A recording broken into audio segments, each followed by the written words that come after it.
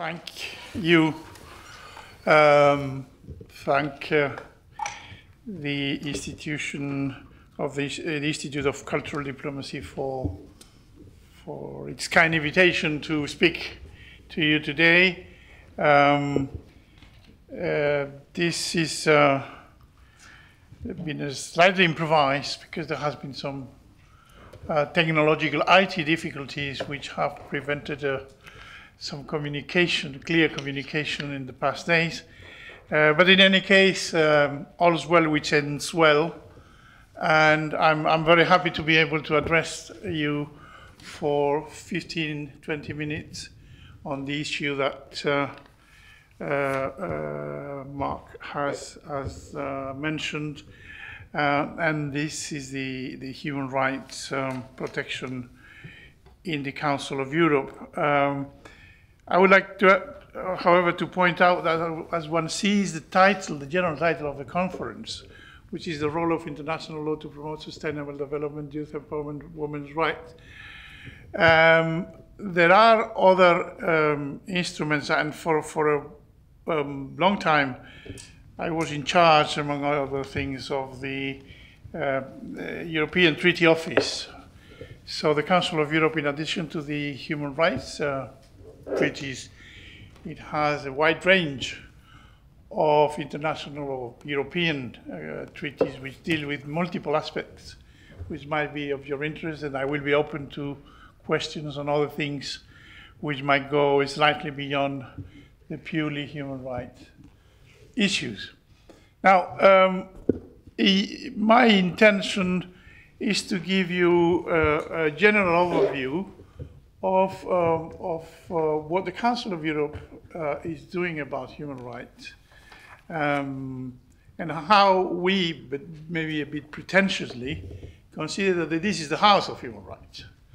Um, as you all know, the, the world, uh, the international community has many different instances which deal with uh, governmental, intergovernmental, uh, non-governmental, which deal with issues of human rights. Uh, some people argue that human rights are the new religion of the 20th century.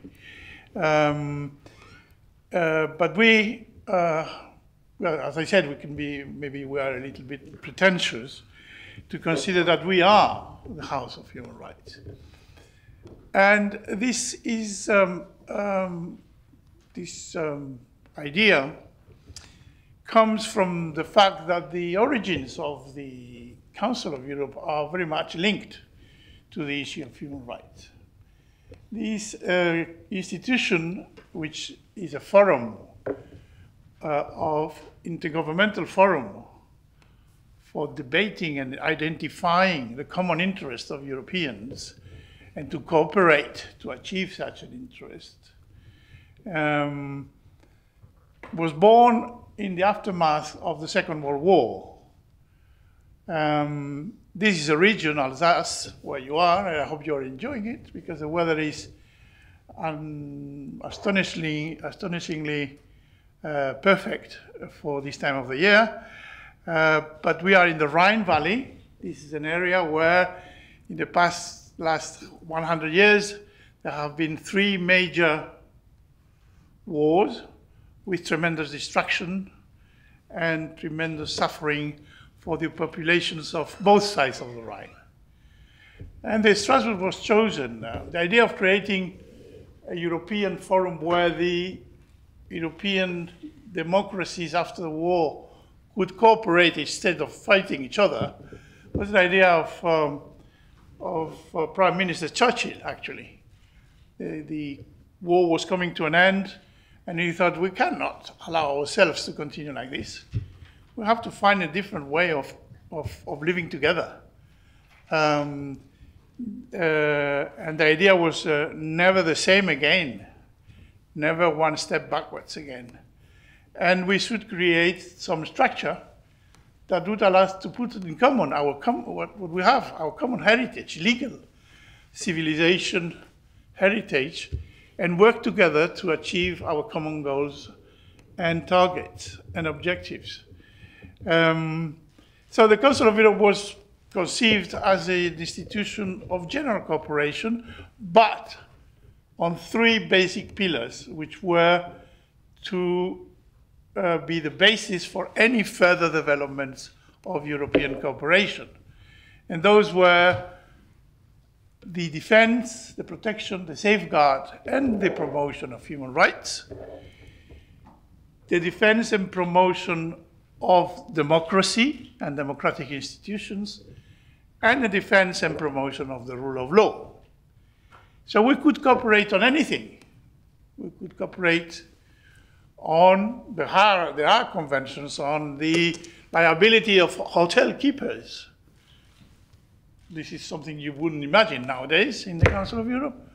But, uh, or traffic offenses, or equivalence of diplomas. All this is European cooperation.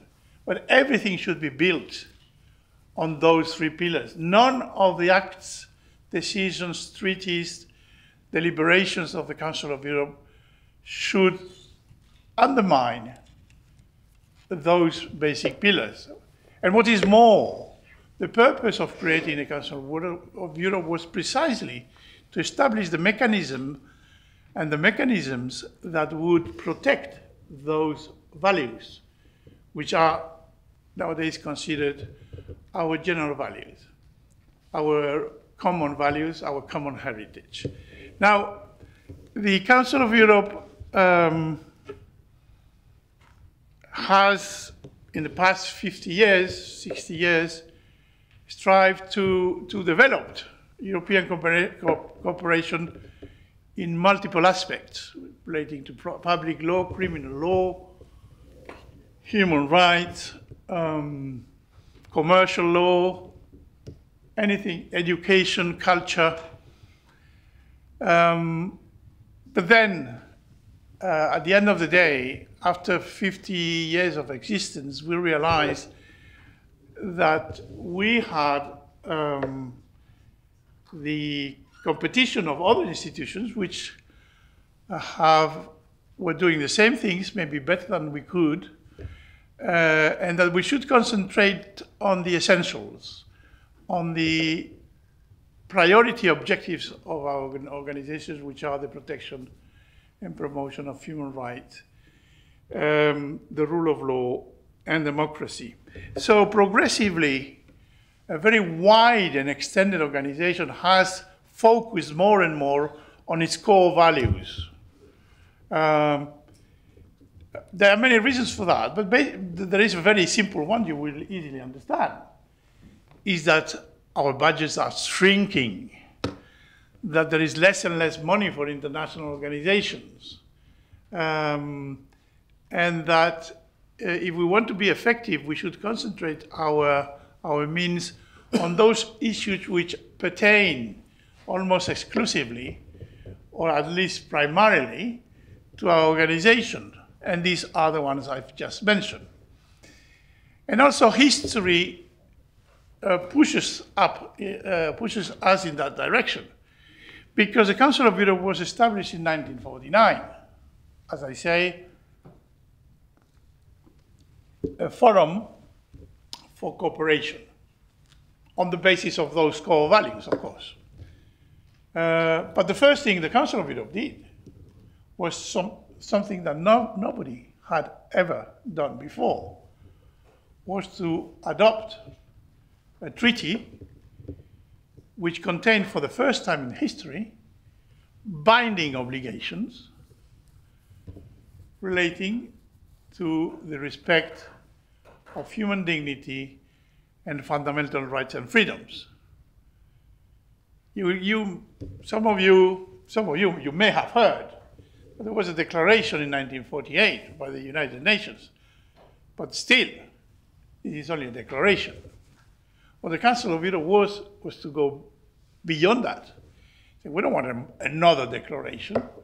We want to have a system by which individuals, states, can complain before an international court if they consider that the rights and freedoms of any individual in this continent are being violated. And this is the greatness of our system that we were able to establish in the context, I will not deal now with the influence of the Nuremberg, Nuremberg trials and the federalist movement in Europe towards the creation of a judicial system where individuals could come and complain. Complaining against whom? Against their own states. You must imagine that uh, up to then, and even now, states are the main actors of the international community and of international law. When we talk about international, national mean governments. The governments of, of the member states, the governments of the recognized in, in, by the international community. And here, for the first time, it was acknowledged that the victim may have a say and should be able to complain. And this is what has made the difference. If I may simplify slightly, um, the original treaty, the European Convention of Human Rights, which dates back to 1950, um, included a clause which allowed the person, group of persons or group of individuals who believe that have been victims of a violation of the rights recognized in the Convention should be able to bring their case to the European Court of Human Rights. Originally, this was done in a very, in a, certainly in a restrictive manner. There were strict conditions on admissibility. Not any complaint could be admitted, and it could be examined to its merits. Um, there were not many rights which were recognized. One of the things which is funny is that you go to the preamble of the convention, and you will say, you will see that it says that the contracting parties, the drafters of this treaty, intended to protect some of the rights recognized of the, by the Declaration, uh, the UN Declaration of, on Human Rights. They did not intend to recognize them all, just a few, just some of them. So the number of rights included in this machinery were necessarily limited. Why? Because we had the other side because we wanted to protect effectively those rights.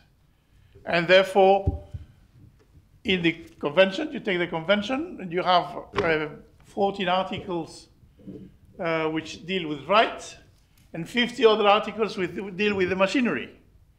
How to protect them, how to have access to the European jurisdiction and complain about your state or any state which is a party to this convention. At the end of the day, um, there have been, in addition to the original treaty, there have been 16 additional um, protocols which complement um, the right uh, originally recognized. Have increased, there has been an increase in the number of rights. They have also improved the mechanism, making it more, um, more swift, more direct, more easily accessible. Um, so the, the system has improved over the years, we could, we could say. But there has been an element which has uh, been of major importance. Um, and that is that the Europeans, or better said, those who were under the jurisdiction of a European state, felt that they had a European remedy in addition to their own. The Court of Human Rights is not an institution which will be called to decide on any case. It is a there is a, the principle of subsidiarity. It, this comes from the First, Second World War. The feeling that we needed someone to overlook what states were doing in the field of uh, human dignity and human rights. It was felt that a state that ignores the rights of its own citizens at the end became a danger for the population of the world as a whole.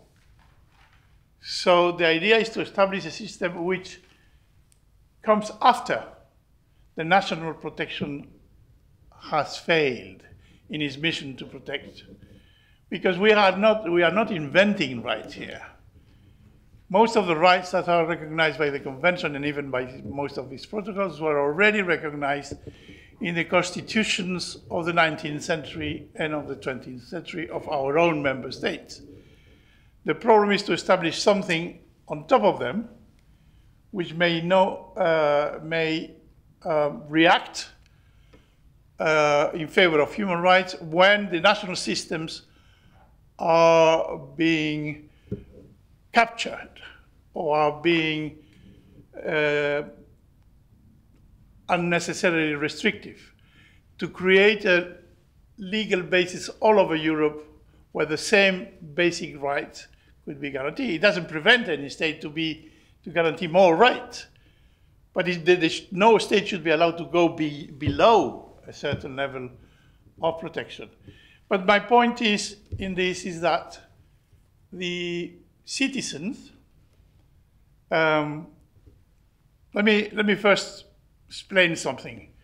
The original idea of the of the drafters of the treaty was to establish a system, as I say, of, of vigilance, of uh, of overview of what's happening in each state.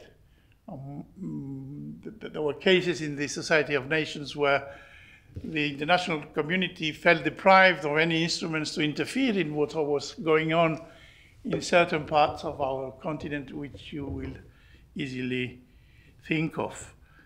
So the idea was that any state could bring a claim, a complaint to the European Court of Human Rights to complain about the way any other state was treating its own citizens. So that there would be a sort of, as I said, general overview.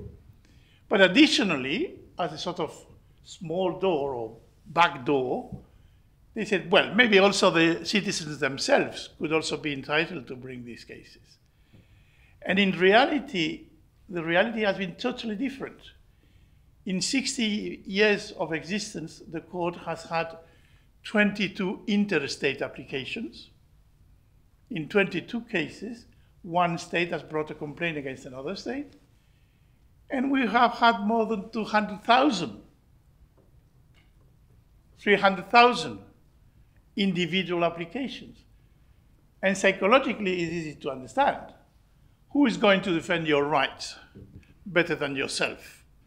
If you feel you're being a victim, you will go wherever you have to go to try to obtain redress to that, um, to that um, violation of your, of your rights, a breach of your rights. And therefore, Europeans have come here by the millions.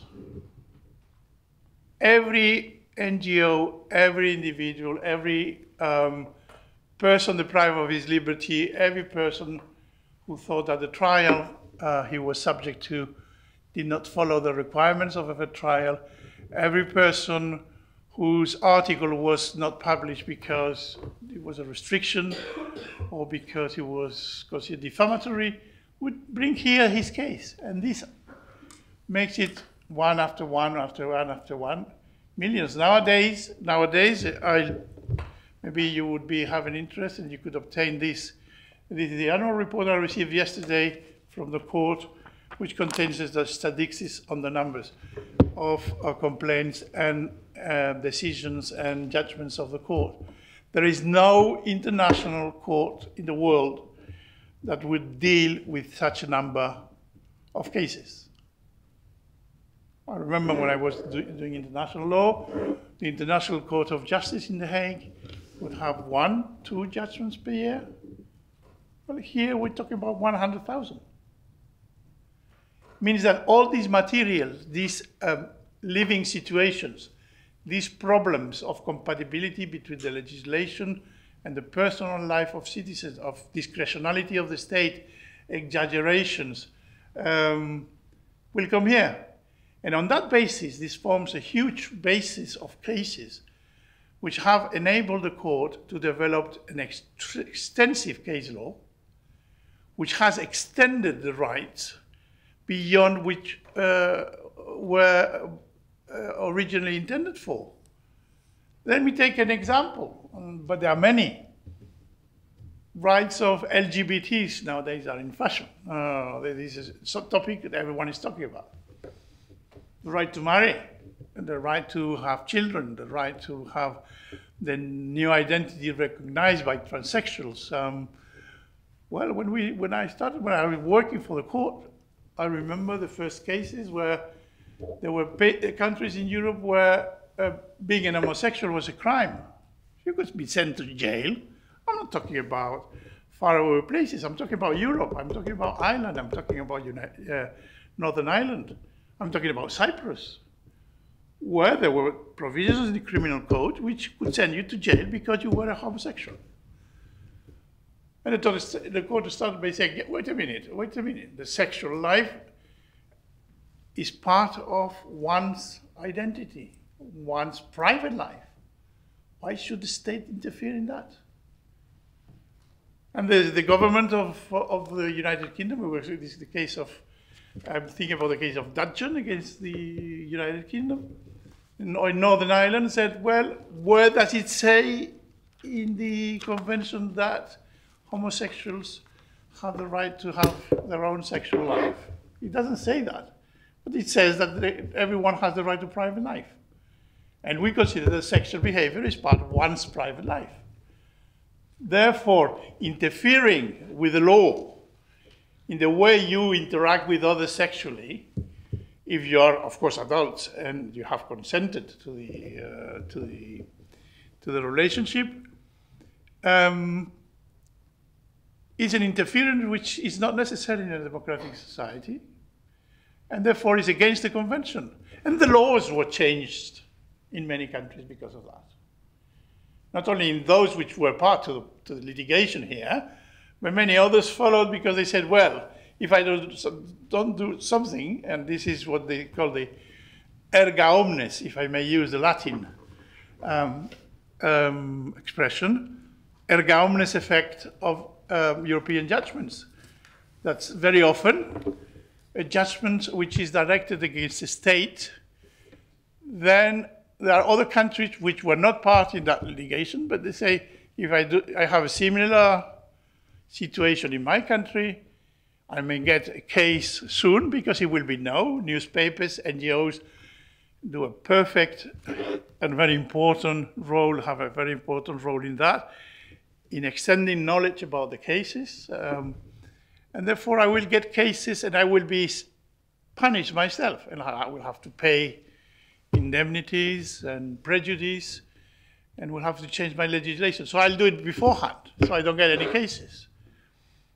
Um, so a judgment in Strasbourg may have uh, uh, a very large effect, not only in the country where, uh, which was defendant in the case, but also in others. Uh, some very intelligent um, NGOs um, have made use of the system to bring forward the ideas, the proposals uh, of social change.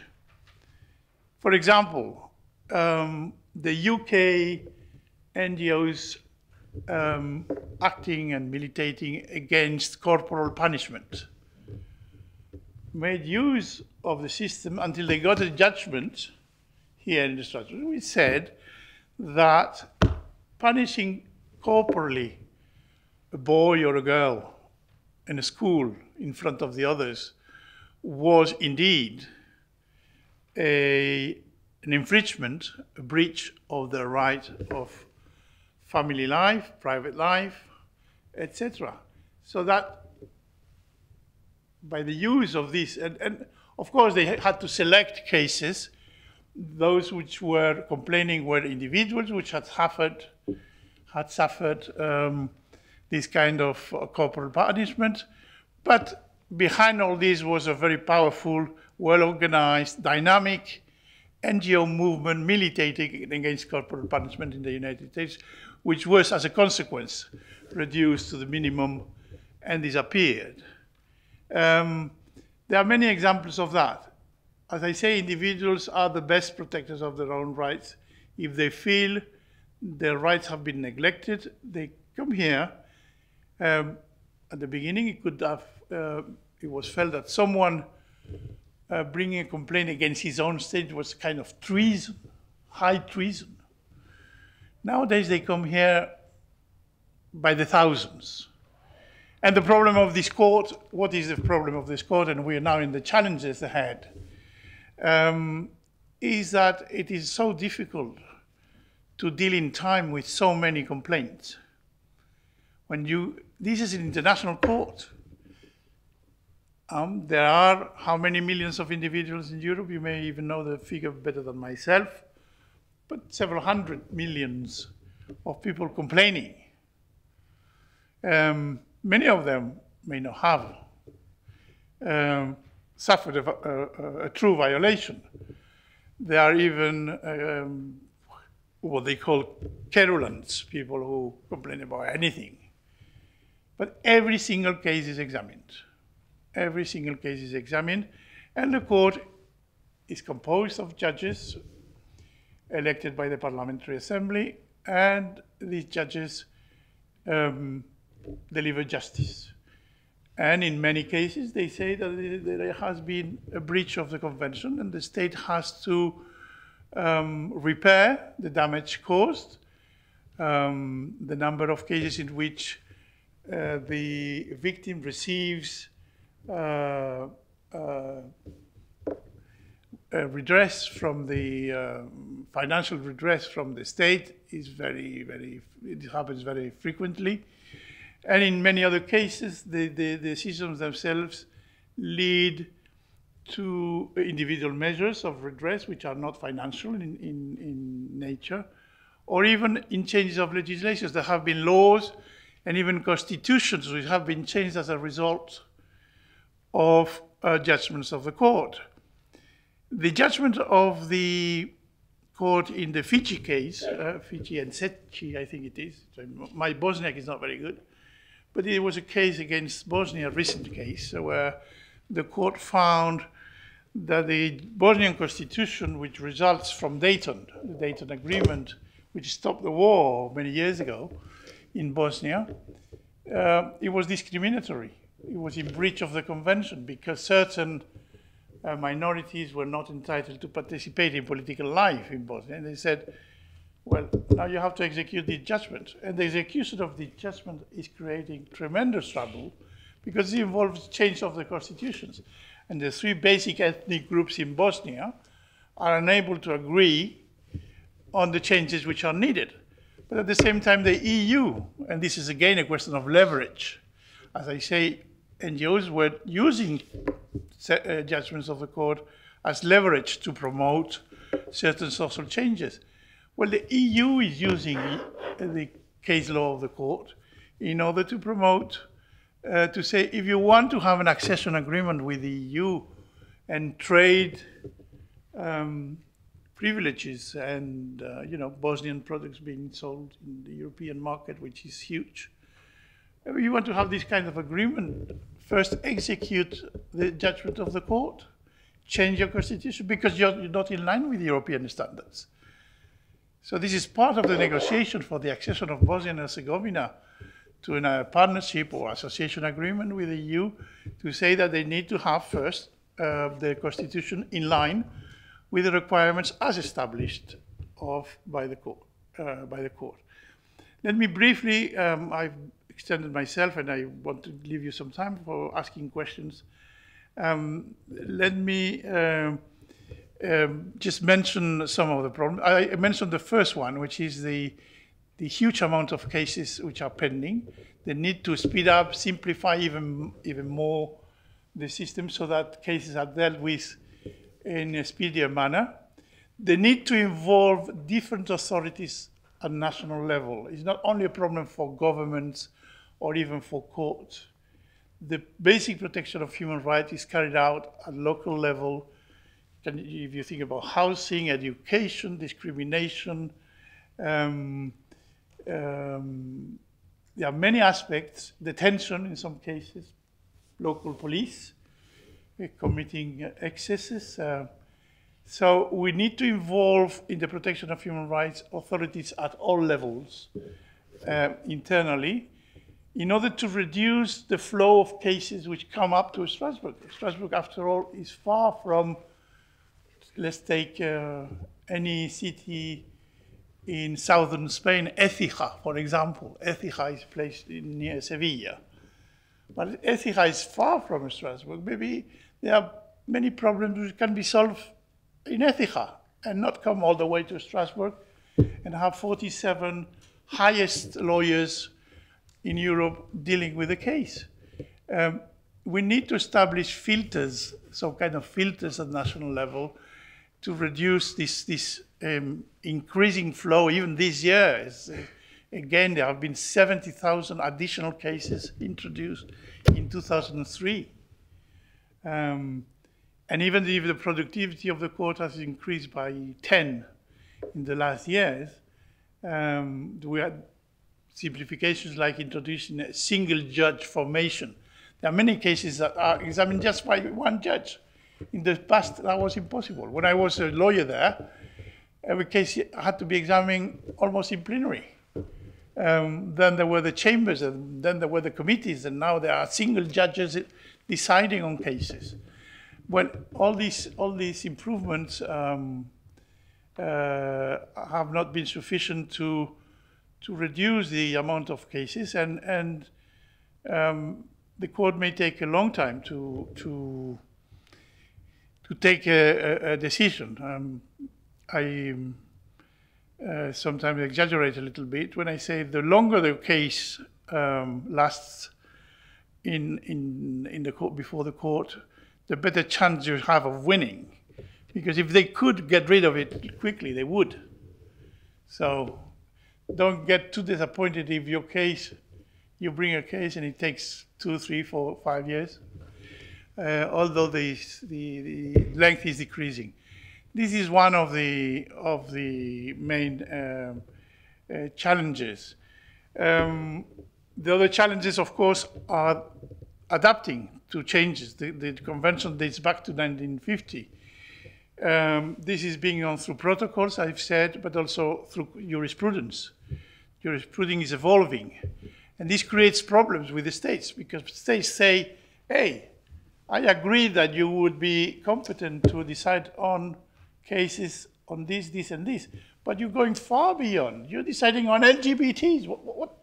There were no LGBTs in 1950s or if there were, nobody knew about them.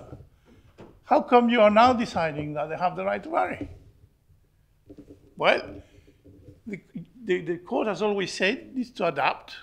He adapts, uh, and, and, and in, this, in this respect, I insist the private individuals and civil society has an important uh, say.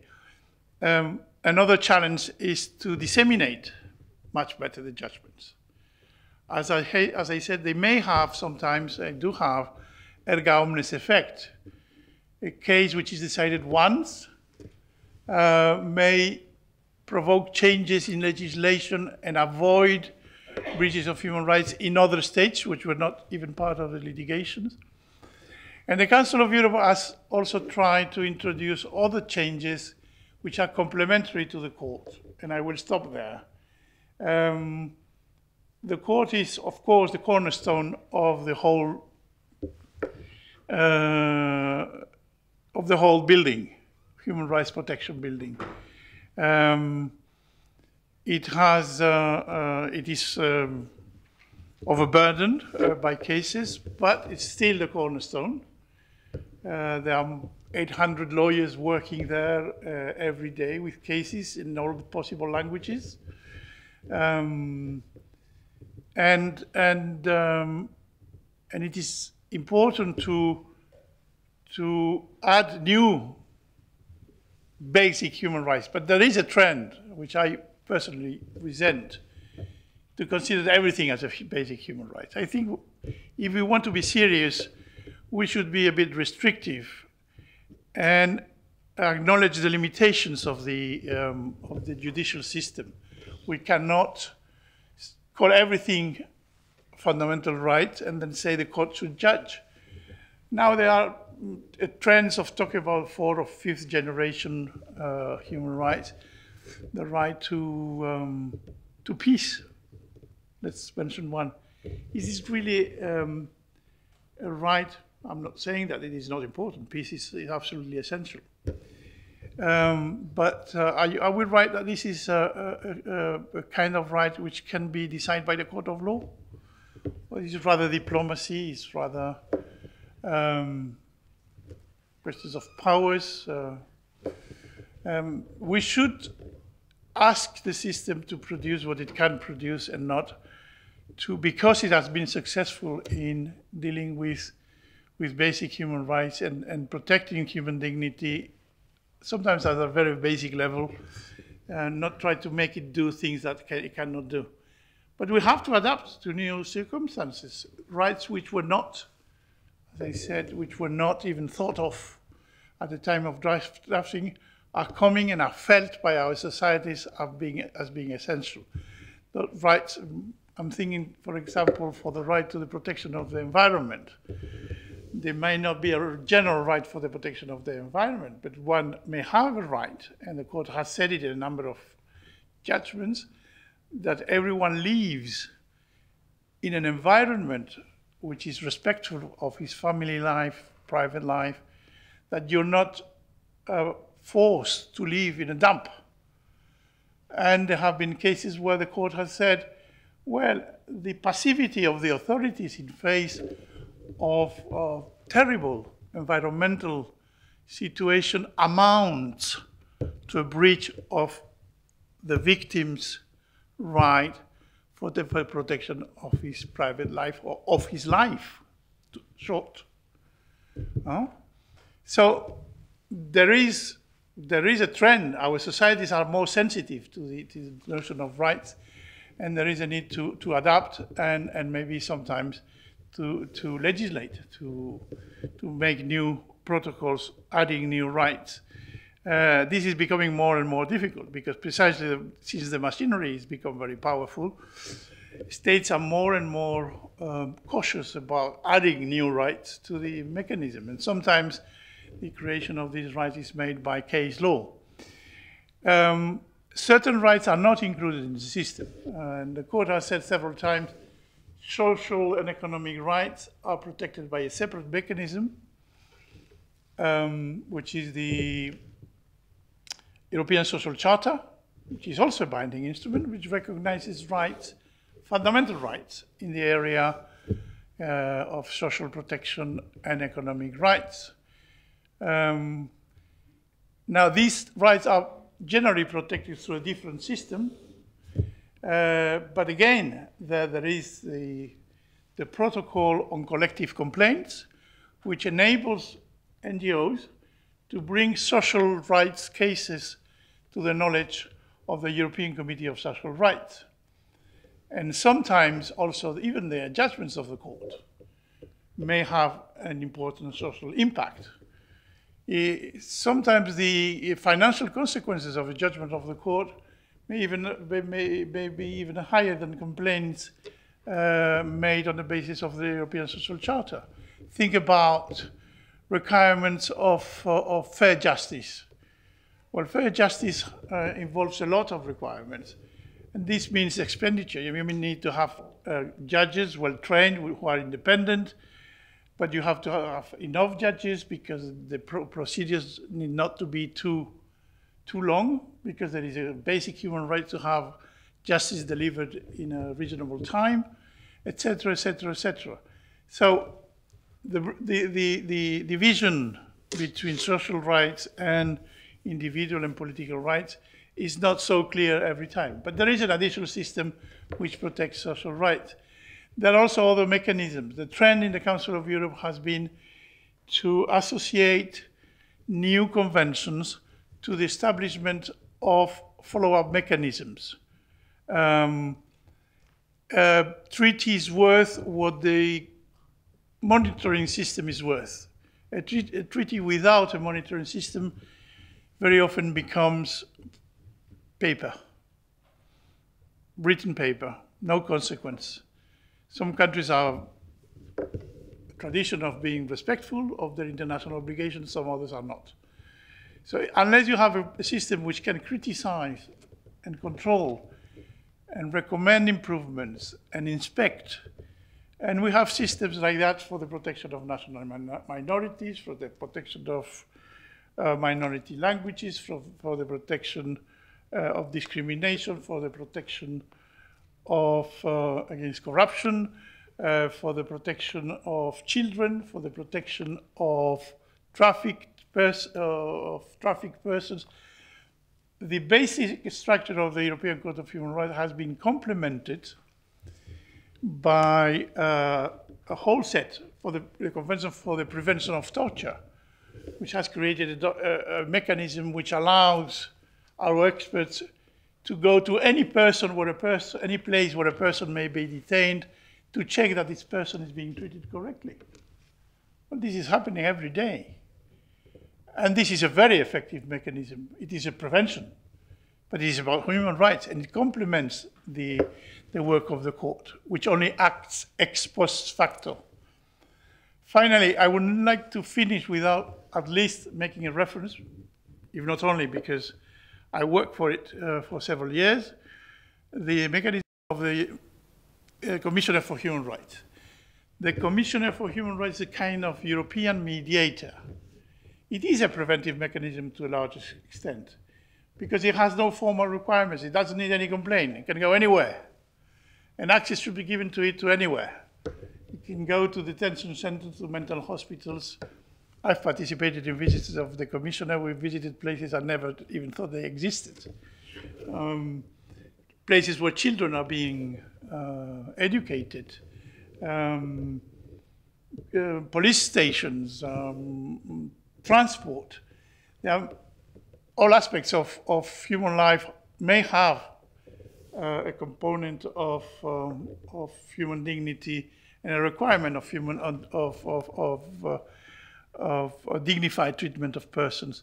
So the, the, the, the, the commissioner has the power to, to visit and to make recommendations to any government at any stage without any identified procedure um, to improve its human rights records and also something which is very important to go to the press.